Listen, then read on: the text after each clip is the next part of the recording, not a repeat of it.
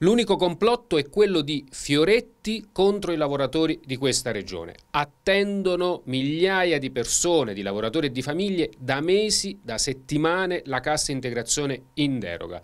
Parliamo di decine di migliaia di lavoratori che in un momento così forte di crisi e di disagio sociale non hanno le risorse perché dapprima questo governo regionale così lento con a capo appunto l'assessore Fioretti, ha processato l'istruttoria con estrema lentezza.